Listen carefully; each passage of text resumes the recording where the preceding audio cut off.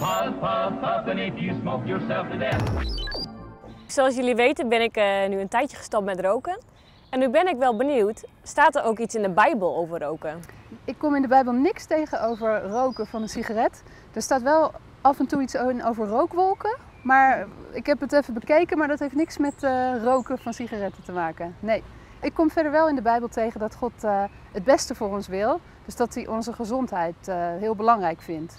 Dus op die manier zou je kunnen zeggen dat de Bijbel wel iets te zeggen heeft over onze gezondheid. Wat zou God ervan vinden als hij mij ziet roken? Ik denk dat hij maar één ding denkt.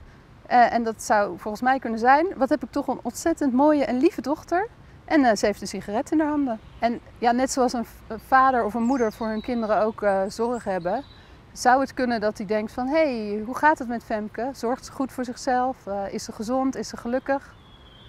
Dus ja, uiteindelijk denk ik dat hij ook het belangrijk vindt om met jou eh, te hebben over hoe ga je met jezelf om, hoe ga je met roken om. Is het goed voor je? Is het niet goed voor je?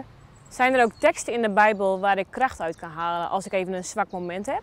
Ja, ik vind de tekst uit Efeze 1 vind ik zelf heel mooi. Daar staat namelijk dat eh, de kracht waarmee Jezus uit de dood is opgestaan, dat die kracht ook beschikbaar is voor ons, voor kinderen van God. Ik weet niet precies hoe het werkt hoor voor jou, maar ik denk dat je God inderdaad mag vragen om jou zijn kracht te geven.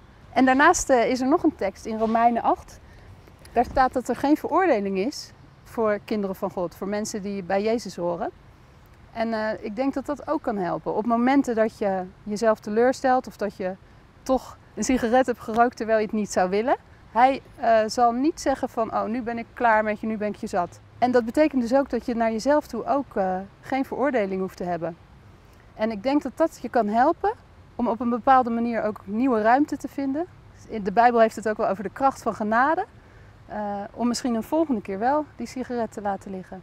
Nou, het is mooi om te horen deze teksten. En ik heb er ook zeker iets aan. Vooral de laatste tekst, dat er ook geen veroordeling is, dat is toch wel een hele rust. Dus stel je voor dat ik weer een sigaretje opsteek, dat het dan niet meteen het einde is van mijn stappoging. Dat ik dan nog steeds kan denken van ja, God die veroordeelt mij niet. En dat ik nog steeds kan denken van nou, hij gelooft in mij. Dus ik ga er nog steeds tegenaan.